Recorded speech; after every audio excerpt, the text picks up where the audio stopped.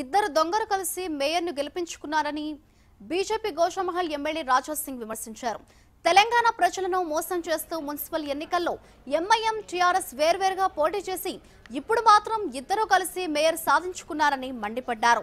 గతంలో సైతం మున్సిపల్ కార్పొరేషన్ను భ్రష్టు పట్టించారని ఇప్పుడు అదే జరుగుతుందని ఆయన అన్నారు.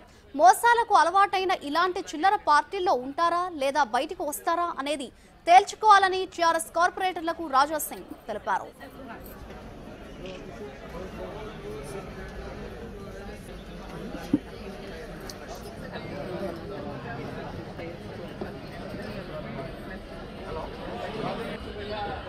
Kita mau belak kayak pun.